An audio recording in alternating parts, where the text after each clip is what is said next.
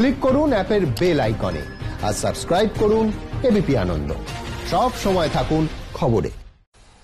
রাজ্যের কোনো মানুষ যাতে অভুক্ত না থাকেন তা সুনিশ্চিত করার চেষ্টা করছেন মুখ্যমন্ত্রী। রাজ্যপাল যা বলছেন তা অবান্তর। প্রতিক্রিয়া পঞ্চায়েত মন্ত্রী সুব্রত মুখোপাধ্যায়ের।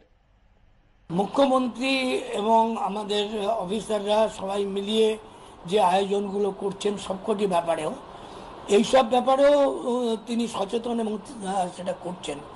এবং উল্লেখযোগ্যভাবে মুখ্যমন্ত্রী অন্য মুখ্যমন্ত্রীদের কারা কাজ করছেন না বলি না, কিন্তু আমাদের মুখ্যমন্ত্রী দিন রাত পরিশ্রম করছেন তার সাধ্য মতন, যাতে ভালোভাবে একে মোকাবিলা করা যায়। এখানে অন্য কেউ যদি হস্তক্ষেপ করে, আলোচনা, সমালোচনা করে এটা, এই সিস্টেমটাকেই যেটা উনি করতে চান, মুখ্যমন্ত্রী তাকে দুর্বল করে, তাহলে মানুষের ভালো করা হবে না।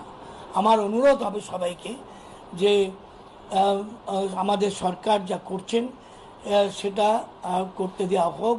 কোনো এই অবৈধ, অনৈতিক সমালোচনা না করে। রাজ্যে রেশন দুর্নীতি নিয়ে সিবিআই তদন্ত হোক, রাজ্যপালের বক্তব্যকে সমর্থন করে বললেন বিজেপি নেতা রাহুল সিনহা। ফের রাজ্যের খাদ্যমন্ত্রীর অপসারণ দাবি করেছেন তিনি। রাজ্যপাল যে কথাগুলো বলছে, সঠিক কথা।